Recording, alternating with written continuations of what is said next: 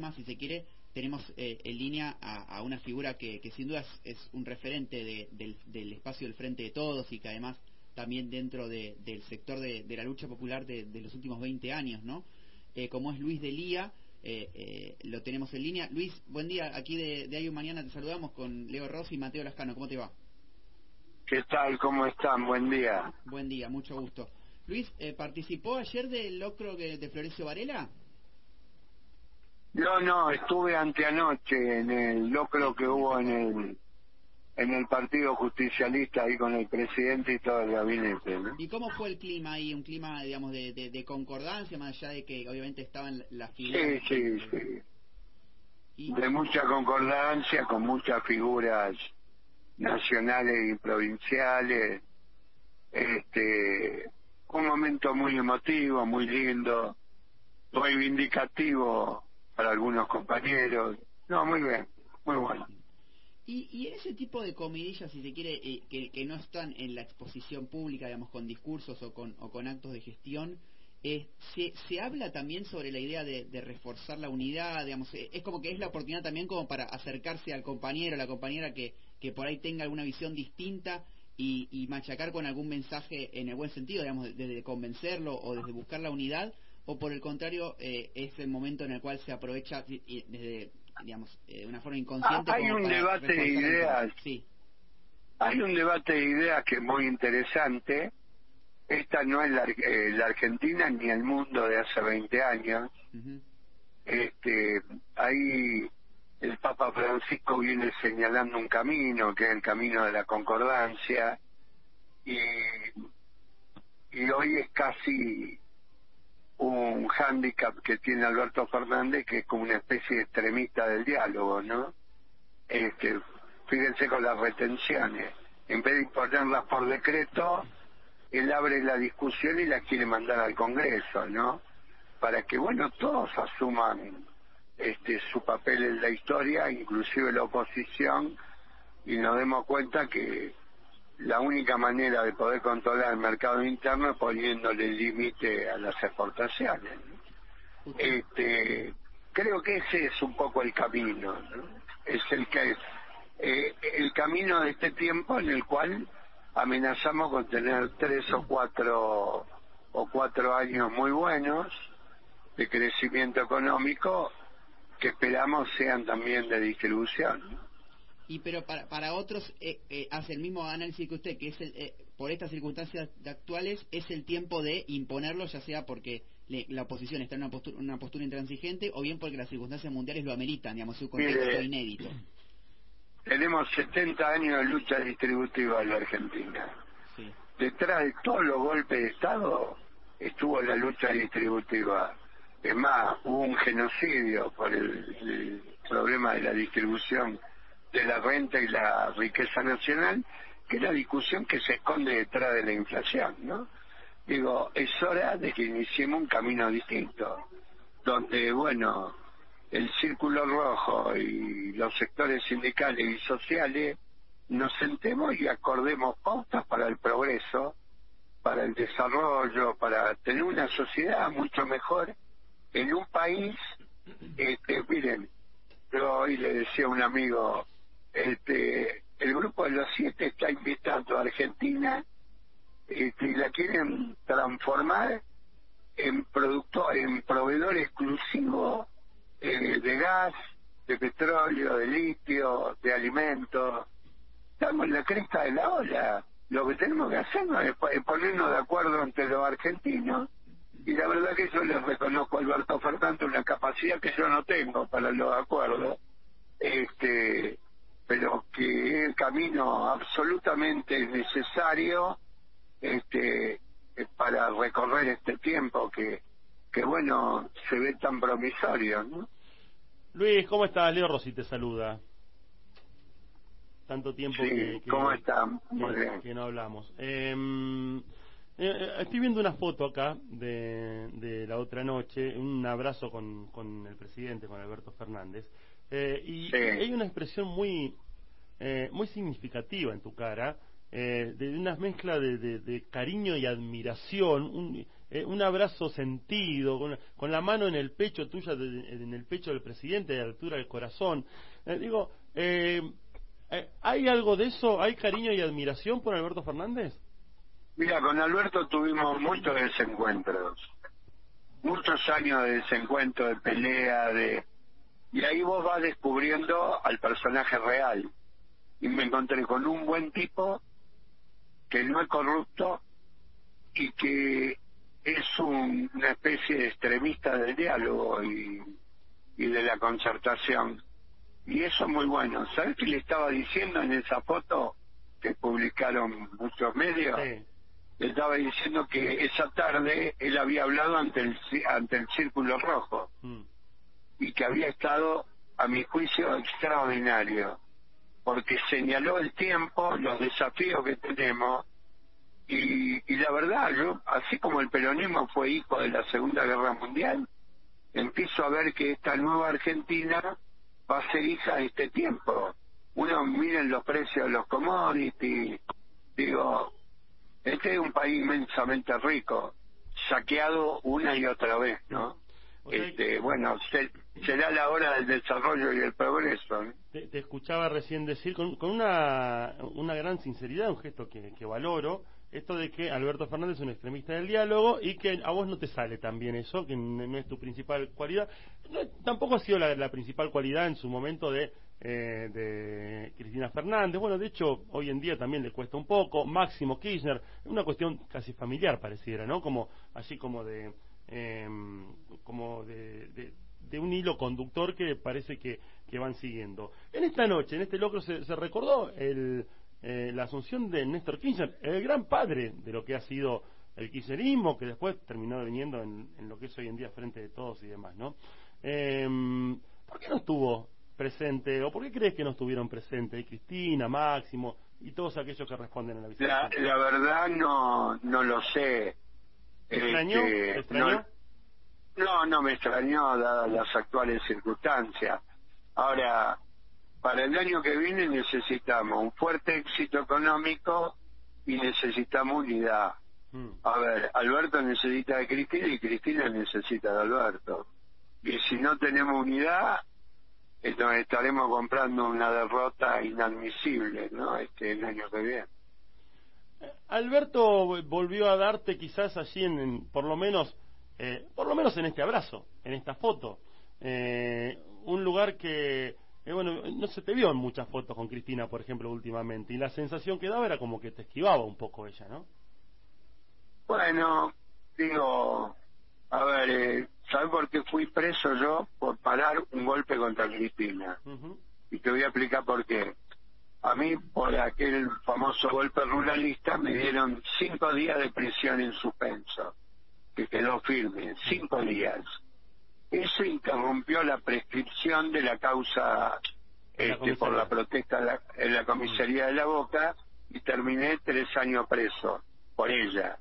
Ahora, en mil días estuve preso, salí el día número mil, jamás ni ella ni Máximo llamaron a mi familia este, para decirle, che, ¿cómo están? Este, ¿Qué podemos hacer por ustedes? Eh, si no, bueno, ahora de eso no bebe en mi corazón, ¿eh? Mm. Yo con Alberto estuve un año y medio preso, ahora no salí a tirar piedra, porque yo vengo de una escuela que dice primero la patria, después el pueblo y después nosotros, ¿no? Y la verdad, yo empiezo a ver que a la patria y al pueblo le empezó a ir bien en la Argentina y lo que corresponde es que lo apoyemos Alberto. Luis, y en, y en los comentarios usted tiene mucha presencia territorial y en las barriadas, ¿coinciden con esa mirada o hay mucho más pesimismo? Mira, vos vas al conurbano y hay un boom de consumo popular, ¿no? La cosa está muy bien. Estaba mal, ¿sabes cuánto? Cuando en el 2001 teníamos 23% de desocupados y no había un solo programa social. Hoy hay siete puntos de desocupación. Eh, lo mismo que, cuando se fue Cristina, en el 2015. Y este tenemos eh, 22 millones de argentinos protegidos con algún programa. Y de esos 22 millones, 14 millones que reciben tres programas. ¿No? Entonces, hay que bajar un cambio, hay que serenarse, eh, hay que trabajar. Eh, acá los empresarios y los trabajadores tenemos que sentarnos con el gobierno para ver cómo construimos un proyecto común, lo que quiso hacer Perón en el 73. Y las juventudes, incluyo, en vez de sentarnos le matamos a Ruti, ¿no? Este, eh, eso no tenemos que volver a matar a Ruti, ¿eh? Tenemos que sentarnos en una mesa y como quería el general ponernos de acuerdo y caminar, caminar al progreso definitivo de la patria, que es lo que nos merecemos, ¿no? ¿Y si no hay voluntad de acordar por parte de la oposición o de parte del Círculo Rojo? Bueno, yo primero quiero darle posibilidad de, al diálogo, ¿no? Este, eh, yo ahí me preguntaba esta mañana, ¿no sería bueno que tres o cuatro de los viejos dirigentes piqueteros vayamos a hablar con Pagani, con Roca, con los dueños del circo del otro lado y, y hablemos, ¿no? Por ahí Pablo Moyano, el propio Daer, que estemos y vayamos a hablar, que es necesario aprovechar este momento histórico para la economía argentina. Vos sabés, Luis, que a mí esto me, me marca indudablemente una tendencia y, valoro y disfruto y aplaudo esto que vos estás diciendo de sentarse a hablar. Ahora, esto habla indudablemente de una bajada de línea del presidente y este exceso de diálogo que vos decías, eh, o, el fundamentalista del diálogo, eh, porque no sé si con Cristina eh, uno estaría escuchando estas palabras. Y cuando hablaba recién, Mateo te preguntaba con respecto a, a esto de, si la oposición, yo creo que el principal problema que está teniendo hoy en día el Frente de Todos, barra kirchnerismo, está bien que se ha ampliado un poco el tema, eh, está en, el diálogo interno, ¿no? Cosa que no se vio ni en el gobierno de Néstor ni en el gobierno de Cristina, esta, esta Era otro momento histórico. Mm. La vida de los pueblos y la vida de las personas no es una foto, en todo caso es una película. Hoy estamos en un tiempo totalmente distinto. Necesitamos el diálogo y la concertación de todos los sectores argentinos por ahí Cristina, Cristina es una mujer brillante, muy inteligente. Sin duda. Digo, por ahí se da cuenta, digo, ¿no? Eso. Eh, Vos dijiste Cristina lo necesita Alberto, Alberto lo necesita Cristina, está clarísimo, si no hubiese sido muy difícil que pueda ganar las elecciones pasadas, Cristina, ¿no? Con un, golpe realmente eh, impresionante de ponerlo a Alberto así como candidato a presidente. Ahora, en ese momento se dijo y se habló mucho de, eh, te acordarás vos, ¿no? Cosa que uno no comparte, el Albertítere y todo esto. Y también se dijo, bueno, en algún momento se van a terminar rompiendo porque los egos eh, terminan siendo siempre lo que terminan ¿No, le está dando un poco la razón eh, con, con, esta actitud, Cristina, a todos aquellos que, que opinaron de esa manera? Mira, ¿sabes por qué le hicieron el tractorazo, Alberto? ¿Por qué? Porque en lo que va del año incautó 1.900 camiones de contrabando a Paraguay, mm. porque modificó las cartas de porte que ya no son de papel, son digitales y no se pueden truchar, y porque desde los satélites SAUCOM, esto me lo enseñó Filmus, los satélites SAUCON le sacan fotos a los campos y se lo declaran, se lo comparan con la declaración jurada. O sea, una tremenda y exitosa lucha contra el contrabando. Ahora vos no lo vas a ver Alberto Fernández subido a un banquito gritando yo soy no está en su ADN eso. No. Él es un hijo de un hijo de un juez, profesor de derecho, un tipo que ha hecho del recato y el segundo plano toda su vida. Entonces yo no le puedo pedir lo que no es. Ahora empezamos a aparecer otros compañeros, como Agustín Rossi, Aníbal Fernández, Luis Delía, que salimos a decir lo que Alberto no puede decir. Pero, pero digo, acá también hay confrontación y hay cosas concretas.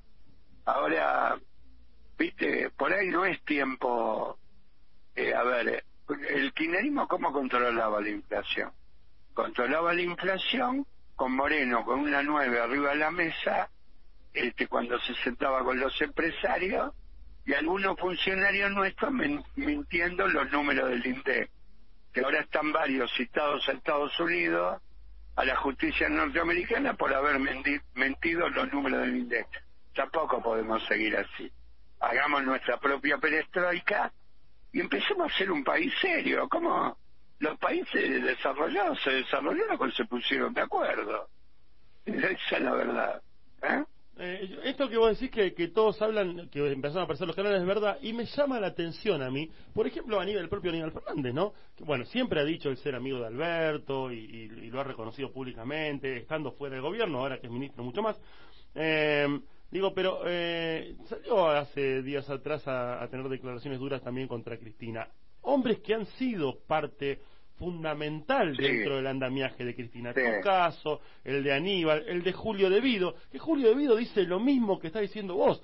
Vos dijiste recién, estuve tres años preso, mil días, no llamaron ni una vez a mi familia si necesitaba algo. Julio De Vido y su mujer, con la que hemos hablado un montón de veces, dicen exactamente lo mismo. Jamás llamaron y nosotros pusimos la cabeza por no solo jamás llamaron.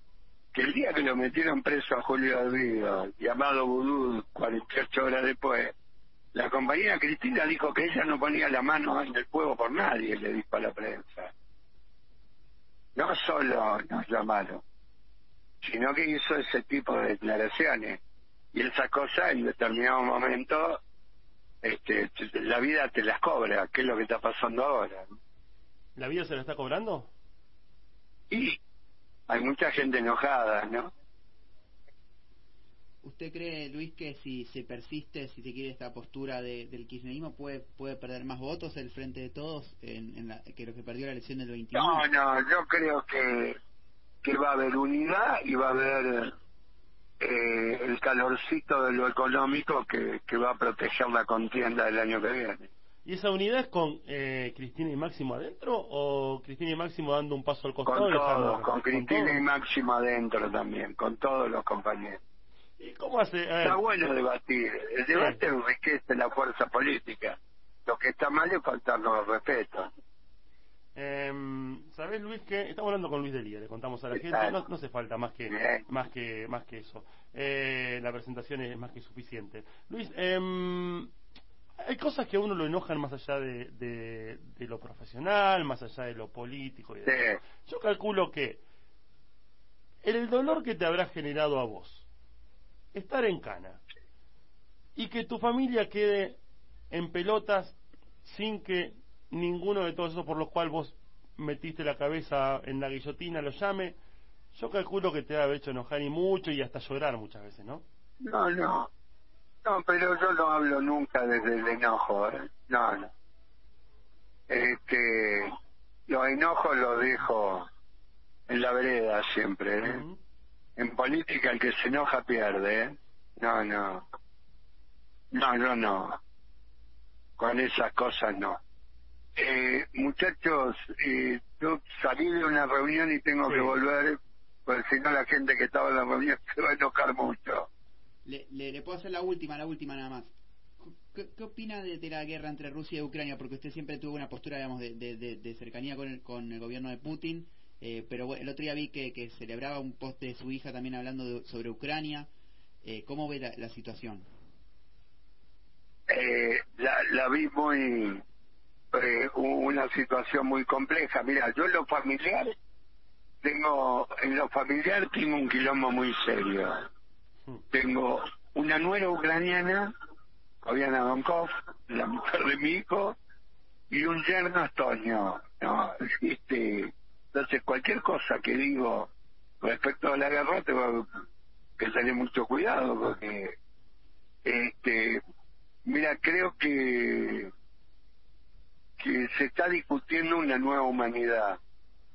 Y ojalá que la salida de la pandemia no sea una guerra más generalizada. Eh, las 10 bases de la OTAN en la frontera rusa no son buenas, como tampoco es la invasión este, por la vía de la guerra un país independiente, independientemente de las características de su gobierno, como Ucrania. País que a la hora de ser invadido no tenía base tanto Digo, porque hay que decir toda la verdad, ¿no? Por lo tanto, este, deseo fervientemente la paz. Muy bien, Luis, muchas gracias por, por su tiempo. ¿eh? No, por favor, un abrazo grande. Abrazo grande.